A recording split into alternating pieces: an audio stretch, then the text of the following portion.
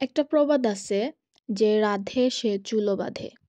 তো হে এভরিওয়ান আসসালামু আলাইকুম welcome to my new video তো, সবার কি অবস্থা বিকালের দিকে আমি বাসায় বসে বসে বোর হচ্ছিলাম, তাই একটু বের হলাম, বের হয়েই দেখি ফুচকাওয়ালা মামা। আর ফুচকাওয়ালা মামা দেখলে আমার মাথা নষ্ট হয়ে যায়, কারণ আমি অনেক বেশি ফুচকা লাভার।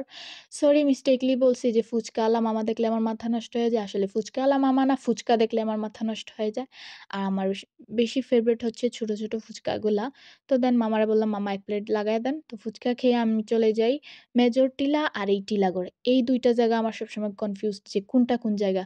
তো মেজর টিলা খাইছি না টিলাগড়ে খাইছি, সেটা ভুলে গেছি। এই তান্দুরি চাটা আসলেই অনেক মজার ছিল। গরম গরম ধোয়া ধোয়া উঠা চা। তো আমরা দুইজনে দুই কাপ চা খাইলাম। তো এই যে কাজটা দেখতেছেন, এটা আমার করা একটা কাজ। এটা, এই ব্যাগটা আমি বানাইছি। তো ওই যে ভিডিওর শুরুতে যে প্রবাদটা বলছিলাম, এটা বলার কারণ হয়েছে আমার অনেকেই আছে। আমার ফ্যামিলির মধ্যে বলেন বা বাইরের মানুষ বলেন, অনেকে বলে এহ, এই কাজ করে টাকা ইনকাম করব, ভবিষ্যৎ চলবো হ্যান তেন।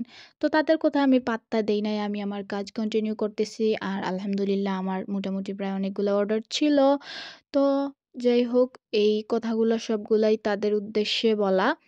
তারপর আমি দেখি এক পাশে এক মামা এই চিপসগুলা ভাজতেছিল। তো আমি একটা চিপস নেই বিশ টাকা ছিল, দাম আর একটা ছিল ত্রিশ টাকা। তো ফার্স্টে আমাকে বিশ টাকাটা ধরাই দিছে ভাই রে ভাই, একটুও মজা নাই। তারপর বললাম, মামা আপনারাটা আপনারা রেখা দেন।